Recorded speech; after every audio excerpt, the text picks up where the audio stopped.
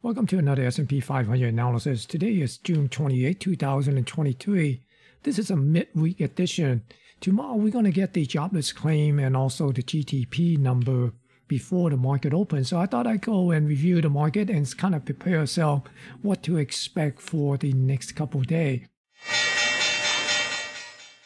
Now, first, let's take a look at the indexes and see how they uh, are doing so far. Today, the uh, strongest uh, performer here, based on percentage, is the Dow Jones Transportation. It was up 0.77% uh, or 118 points, and also followed by the small cap, the Russell 2000, up almost half a percent at uh, positive uh, 8.7 point. Now the worst performer is the Dow Jones Industrial is down 0.22 percent, and the New York Stock Exchange Composite and also the S&P is now 0.04 percent. So that's more like a break even. Likewise, the Nasdaq 100 is down 0.12 percent. I mean up 0.12 percent, up 18 point. So that's pretty much break even. And looking at the uh, week to date so far, the week to date so far, the Dow Jones Transportation is the top performer, and also followed by the Russell 2000, the small cap, and the worst performer is the Dow Jones Industrial, only up a third of a percent. And even the Nasdaq 100, the technology heavy uh, index, is only up half a percent year to date. I mean week to date. And of course, the year to date, the uh, NASDAQ 100 is still holding on to over 36% gain, while the uh, Dow Jones Industrial is only holding a little bit over 2%. Now, let's take a look at this market internal chart here. The uh, upper uh, quadrant is the uh, New York Stock Exchange, and the lower part of the screen here is the NASDAQ. And looking at the up down volume, here is the net up volume minus the down volume. So positive is good, negative is more selling than buying. So you can see today, most of the time, just uh, in the beginning, you know, we saw some uh, a little bit negative, a little bit more selling than buying early on. But throughout this session, it's pretty much uh, you know, buying uh, overwhelm the uh, selling.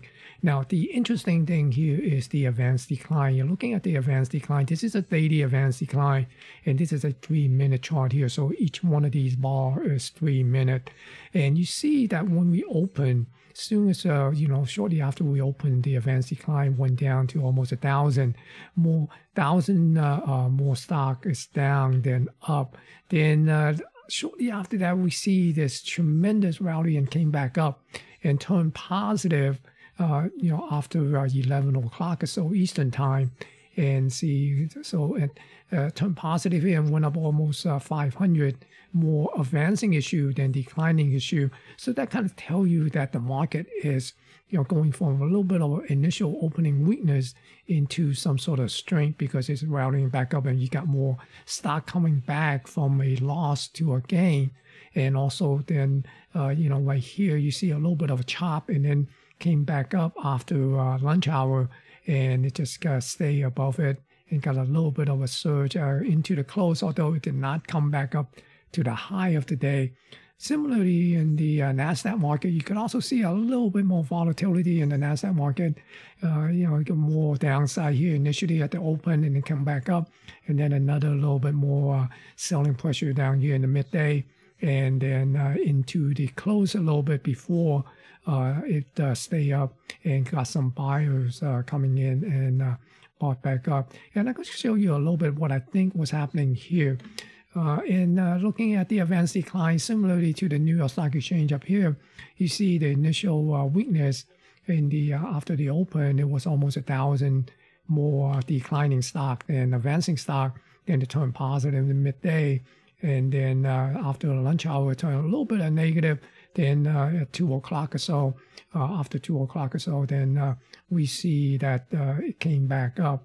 And right now, you could see also the tick the cumulative tick is uh, basically we're adding, uh, you know, the uh, uh, uh buying tick and a selling tick and just kind of get a net of this, and then we just keep on, you know, uh, adding it up or, or, or, you know, cumulative sum. So and you can see it is positive. That means there are more positive tick than negative tick throughout the session. And we did see a little bit of a selling here in the noon hour during lunch hour here see that it went below minus 500. So when we see minus 500 take to minus 1,000, then we uh, have some uh, possible uh, sell program institution selling here. Likewise, when we uh, get up to uh, 500 and 1,000, we have some uh, buy program.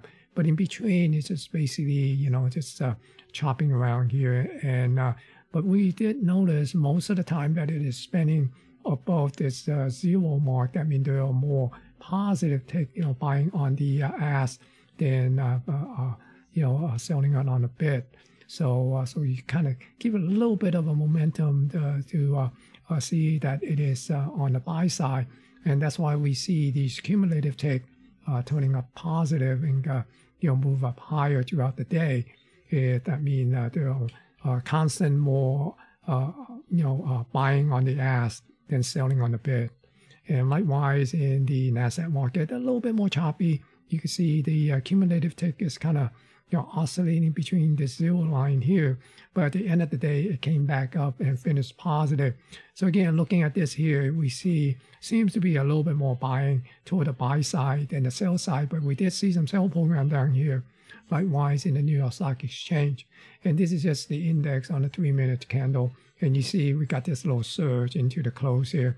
And here's a different look of the internal along with the VIX. Uh, here's the S&P 500. You see that it opened if I uh, do this here, uh, when it first opened, it was down about 10 point and then got into the low of the day, down almost 18 point. Then we rallied back up and uh, came up and uh, basically pretty much uh, up about three points and then pulled back a little bit into the, you know, the, the London close. And we see that was down about seven and a half point. Then into the lunch hour, we see that it was up about 12 points. Then after the lunch hour, well, almost after the lunch hour, uh, it was uh, down about 16 points. Then it just kind of chop around in the negative territory until near the end of the day. Then it's only down a little bit less than a point or so on, uh, on this chart here based on this last candle.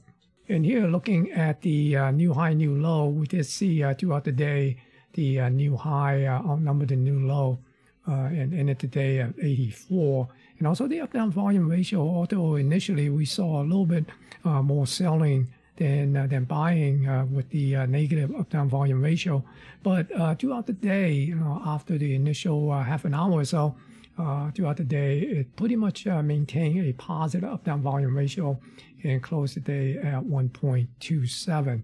So there's 1.2 to 1 in favor of the up volume then on the VIX here, the VIX is uh, pretty much uh, down here at multi-year low, still down here at 13.41. And the put call ratio, you can see that initially got pretty, uh, you know, bullish here, and then eventually kind of slowly come back up to this 0.75 level. So basically into this, uh, just about this uh, cautious hedge level here. And also looking the uh, the daily advance decline, we notice that the uh, daily advance decline was uh, negative uh, throughout the morning session. In other words, there are more declining issue than advancing issue that turned positive into the lunch hour and just kind of bouncing around.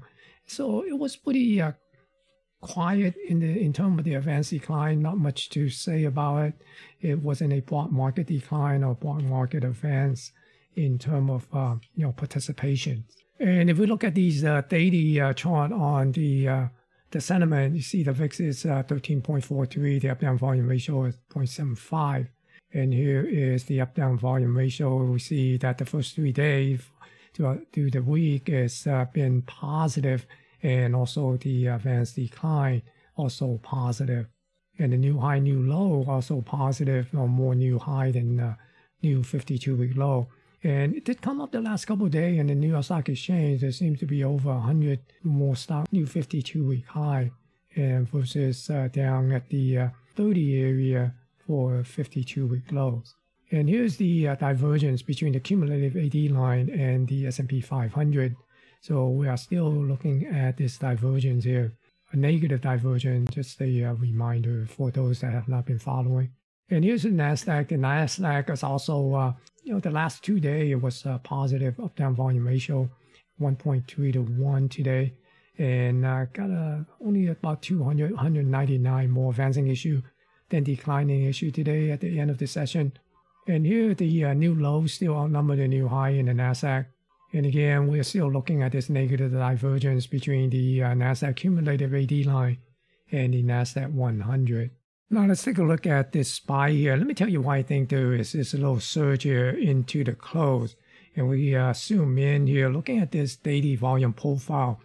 You see that uh, we have these uh, shorts here, and it got squeezed up, and then we come back down here. But again, we're basically building a lot of volume down here at this uh, uh, low level here. You see here, you know, been hovering around here, and basically just building a lot of volume here, and essentially uh, we are extended short. A lot of a lot of short is being trapped here. So, uh, so at the end of the day, a lot of short do not want to carry this overnight. They, they basically come in and cover the short, and that what what probably help fuel this uh, this surge into the close. And here, if we look at the ES, the E mini S&P 500 future, you can see that you have a lot of shorts here, extended short. You see this came down here. I think this is probably uh, one of the comment that Powell made today and probably uh, got this little flushing coming right back up. So uh, you see that uh, got a little bit of a poor low here, and then uh, you know a lot of a lot of short basically trap here. And at the end of the day, they basically uh, puke it out, when and cover, and that's what uh, make this thing comes up.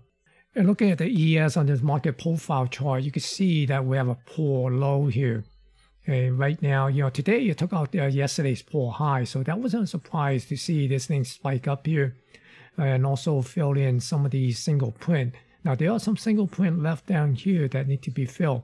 So tomorrow, I would not be surprised to see the ES come back down, take out this poor low, and then come down and fill these uh, single print. Then possibly maybe, uh, you know, come down to this lower, lower area down here and try to test this low or this low here. Now, before I go to the ETF for the indexes, I just want to remind those that are not uh, aware that I have a Substack page or that you are not subscribing to my Substack page. I do post additional material in my Substack page throughout the week and also in the weekend. So you might want to go and check it out. And best yet, subscribe to my Substack newsletter, and then you will get that automatically on your uh, email inbox whenever I uh, post a uh, new uh, uh, post. Now let's start off with the uh, diamond, the ETF for the Dow Jones Industrial.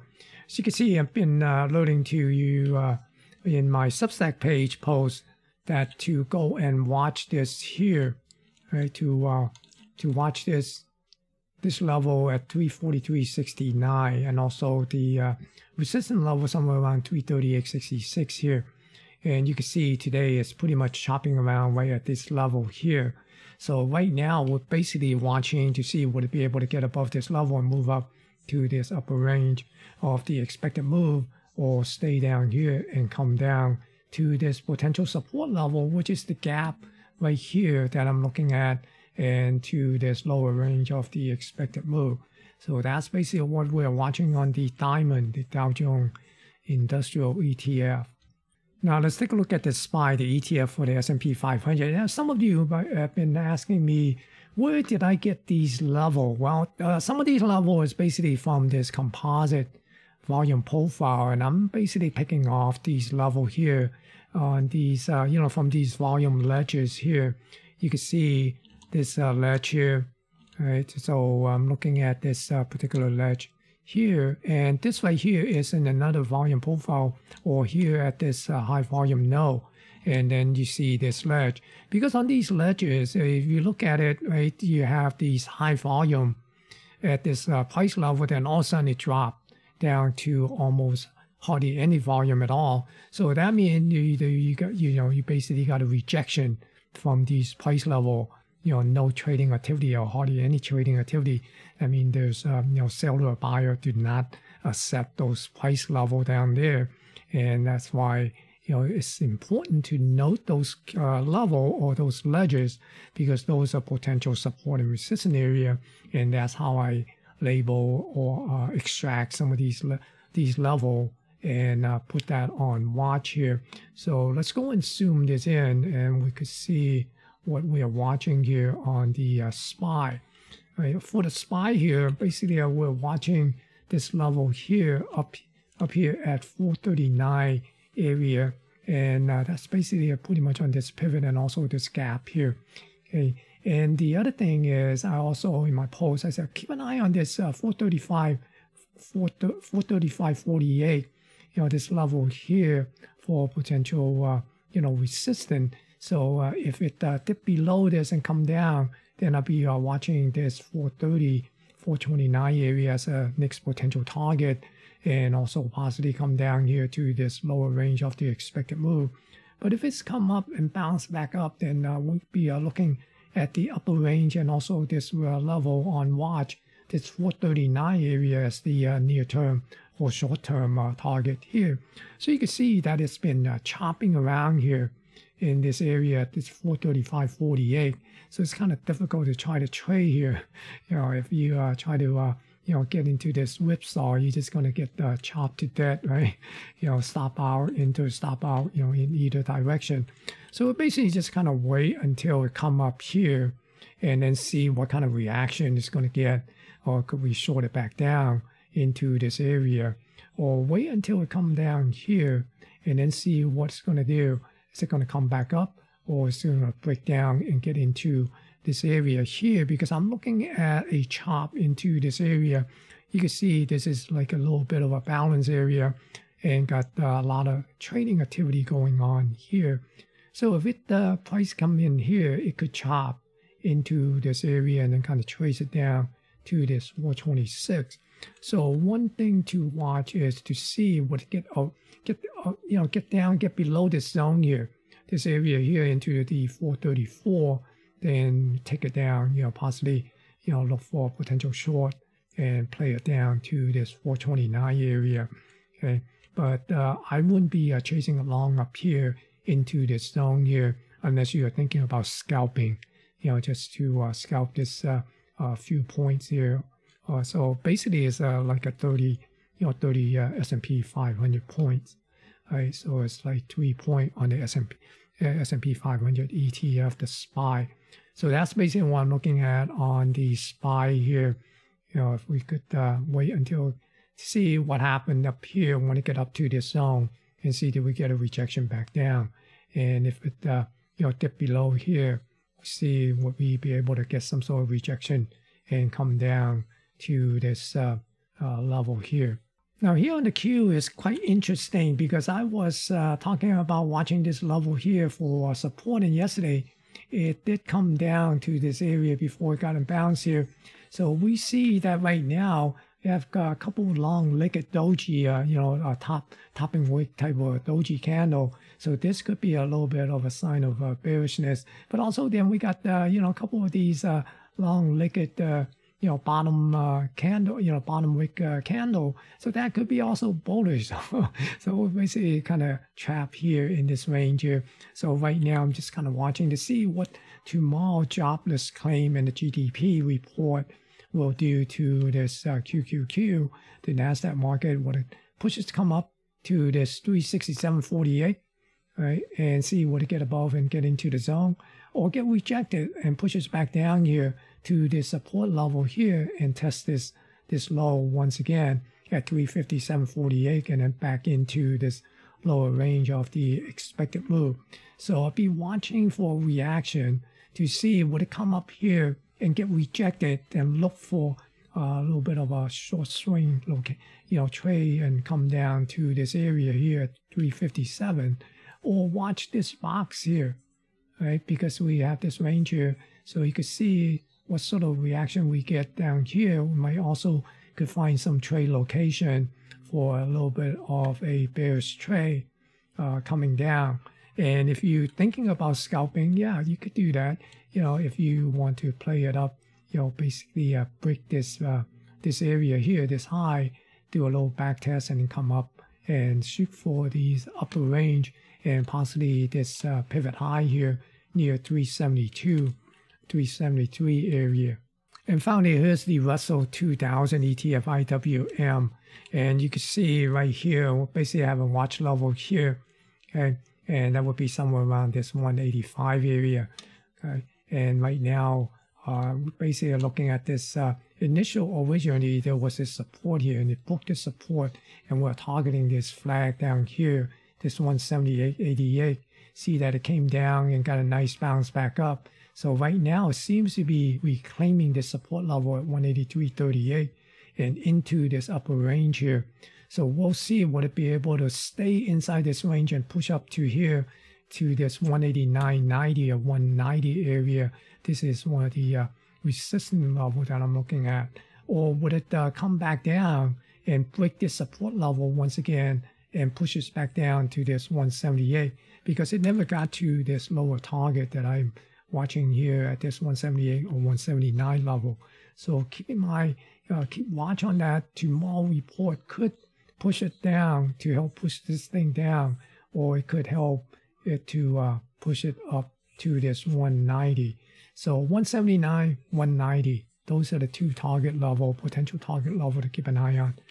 Just a reminder again, if you haven't checked out my Substack page, go check it out for these additional content that I post on my Substack. And the uh, link is uh, smtraderca.substack.com. You can also find the link in the description below. If you find the content to be informative and useful, be sure to smash the thumbs up to give it a like and help promote this video on YouTube. And if you are new to this channel and have not subscribed to this channel, you know, go and subscribe, click that subscribe button and subscribe to this channel so you will continue to be able to watch these contents from me. Thank you for watching and stay safe.